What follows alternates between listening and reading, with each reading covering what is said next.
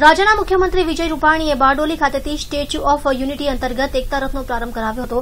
આગામી એકત્રીસમી ઓક્ટોબરના રોજ સરદાર પટેલ જન્મજયંતિ નિમિત્તે કેવડિયા સરદાર સરોવર ખાતે બનાવવામાં આવેલ સરદાર વલ્લભભાઈ પટેલની વિશ્વની સૌથી ઊંચી પ્રતિમાનું લોકાર્પણ વડાપ્રધાન નરેન્દ્ર મોદીના હસ્તે કરવામાં આવનાર છે. આ સ્ટેચ્યુ ઓફ યુનિટી અંતર્ગત રાજ્ય સરકાર દ્વારા દસ હજાર ગામડાઓમાં એકતાનો સંદેશ આપવાના ઉદ્દેશથી એકતા રથ કાઢવામાં આવ્યું હતું. સરદાર વલ્લભભાઈ પટેલની કર્મભૂમિ બારડોલી ખાતેથી એકતા રથનું પ્રસ્થાન મુખ્યમંત્રી વિજયભાઈ રૂપાણીએ કરાવ્યું હતું. જ્યારે તેની સાથે સાથે ખેડૂતો માટેની સૂર્યા શક્તિ યોજનાનો શુભારંભ પણ કરવામાં આવ્યો હતો. એનો કોંગ્રેસ ખેડૂતના નામે ભ્રામક પ્રચાર કરી રહી છે મારે કોંગ્રેસના લોકોને પૂછવું છે કે તમે લોકોએ કોઈથી એક દાણો ટેકાના ભાવથી ખરીદ્યો તો વાતો કરો છો ખેડૂતોની?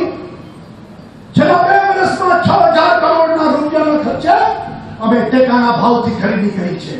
અને આવનારા માર્ચ મહિનામાં પહેલી વખત નરેન્દ્રભાઈ મોદીએ શેરડીને પણ ટેકાના ભાવથી, ઓગણત્રીસો રૂપિયાના ભાવથી ખરીદવામાં આવે એવો પ્રથમ વખત નિર્ણય થયો છે. ટેકાના ભાવ પણ પૂરતા આપવામાં આવે.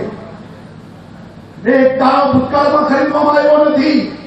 જ્યારે લાખો ક્વિન્ટલ, લાખો ટન અનાજ, મગફળી, કપાસ નીચા ભાવે જાય, ત્યારે આ ભારતીય જનતા પાર્ટીની સરકાર ખેડૂતો માટે આ ખરીદી કરી રહી છે.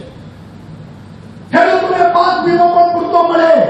અરે તમારા વખતે તો પાક વીમામાં ખેડૂતોને ગોળીઓ મળી આજે પણ સૌરાષ્ટ્ર અને ઉત્તર ગુજરાતના અને આજે સરદાર વલ્લભભાઈ પટેલ એ કિસાન પુત્ર હતા, ખેડૂત પુત્ર હતા.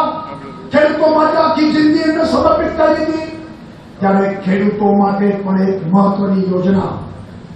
મફત વીજળીની વાત કરનારા લોકો, એ તો માત્ર ને માત્ર રાજકીય વાત કરે છે. પરંતુ અમે લોકોએ મફત તો વીજળી મળશે ખેડૂતને, પણ ખેડૂત વીજળી પેદા કરીને ખેડૂત વીજળી વેચે. એમાંથી કમાતો થાય, રાત ઉજાગરા બંધ થાય, અને દિવસે વીજળી મળે. એટલા માટે આ સૂર્ય શક્તિ વીજળી યોજના કિસાન સૂર્ય બીજ યોજના આજે સમર્પિત કરવામાં આવી છે સમગ્ર ભારતમાં ગુજરાતે કમી પહેલ કરી છે અને ખેડૂતોની આવક બમણી થાય વડાપ્રધાનનું સ્વપ્ન છે એ સ્વપ્નને સાકાર કરવા માટે આ યોજનાને પ્રસ્થાપિત કદાચ સરદાર સાહેબે કાશ્મીરની સમસ્યા પણ હાથમાં લીધી હોત તો આજે કાશ્મીરની સમસ્યા અત્યારે સળગતી ન હોત કેદીનો કાશ્મીરનો પ્રશ્ન પણ વધી ગયો હોત પણ કમનસીબે સરદાર સાહેબને આ કાશ્મીરની જવાબદારી સોંપવામાં નહોતી આવી સરદાર સાહેબ વધુ જીવવા હોત આ દેશની સંસ્કૃતિ આ દેશની પરંપરા આ દેશનું માન સન્માન એ વધુ ઉજ્જવળ બન્યું હોત જે રીતે સરદાર સાહેબે સોમનાથના મંદિરનો જીર્ણોદ્ધાર નો નિર્ણય અપીસમેન્ટની રાજનીતિથી ઉપર ઉઠીને દેશની સાંસ્કૃતિક એકતા માટે સદા સાહેબે સોમનાથના જીર્ણોદ્ધારનો કડક નિર્ણય કર્યો હતો. સરદાર સાહેબને આ નર્મદા ડેમ ગુજરાતની જીવાદોરી છે ત્યાં ડેમ બનવો જોઈએ. એ સરદાર સાહેબનું સ્વપ્ન અને વિઝન હતું. પણ કમનસીબે એ વખતની સરકારો સરદાર સાહેબના વિચારો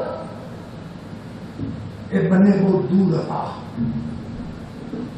કમનસીબે ચાલીસ ચાલીસ વર્ષ સુધી સરદાર સાહેબનું ચિત્ર પણ સંસદના અંદર આ લોકોને સૂઝ્યું નહોતું કે સરદાર સાહેબનું ચિત્ર મૂકીએ